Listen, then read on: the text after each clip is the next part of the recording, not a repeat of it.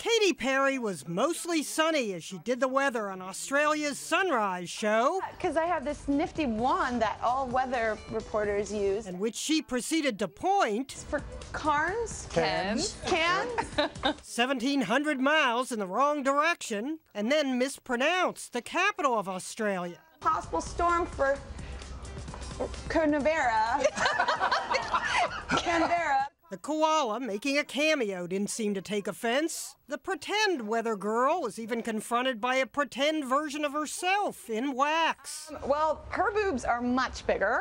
Katy played the boob, making a Harry Potter joke at the expense of the city named Hobart. Uh, 20 degrees with a morning shower or two for Hogwarts.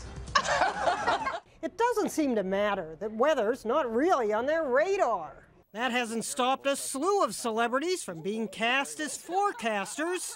Scarlett Johansson also suffered from GPD, geographical pointing deficit, as she gestured to the west coast while predicting snow in western Pennsylvania. And Snooki, oh my god, had to adjust her own areas of low cut pressure.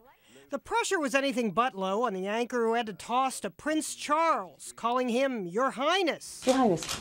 Well, it's an unsettled picture. Prince found the script on the teleprompter to be a royal pain. The potential for a few flurries over Balmoral. Who the hell wrote this script? Uh, but who needs to dabble in Doppler when you can dance across the weather map? which is what Tom Hanks did on Univision since he couldn't speak Spanish.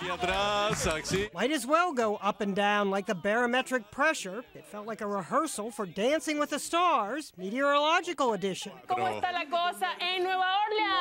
When the late great comedian Paul Lynde did the weather for an Ohio station, is the H hot or humid? It's both. He played it dumb. 41% chance of uh, twisters. And when confronted by radar, uh, it looks like I'm going to be a fortune teller.